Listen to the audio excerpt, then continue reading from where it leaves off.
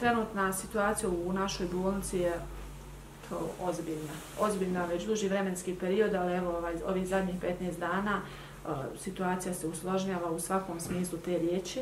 Uh, imamo dosta pacijenata koji su sa teškim kliničkim slikama. E, na našoj anesteziji leži trenutno pet pacijenata koji su životno ugroženi na respiratorima. Borimo se svakodnevno za, za život svih njih.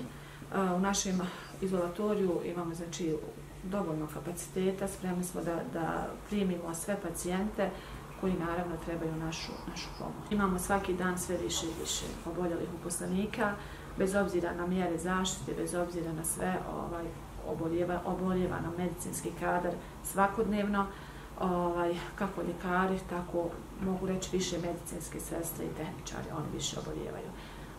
najvjerovatnije zbog mislim, zbog pogoršanja same situacije, e, ja mogu odgovorno tvrditi da se sigurno ne zaraze u, u našoj ustanovi, jer kod nas vlada pravilo da moraju biti adekvatno zaštićeni na poslu, znači imaju adekvatnu opremu, e, adekvatan prilazak prema pacijentima. Svi pacijenti se smatraju sumnjivim, ko što je, mislim, tak, takva je naša politika kuće.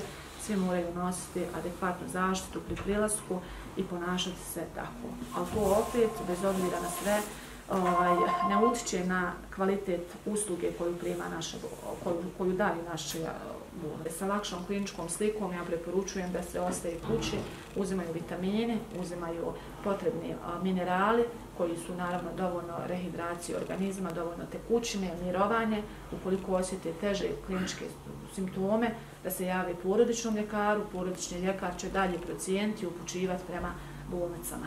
Znači, apeliram da se ne zatrpavaju bolnice, pogotovo da se ne preskače primarni nivo koji prvi treba da da, da prvu uslugu, pa tek onda mi.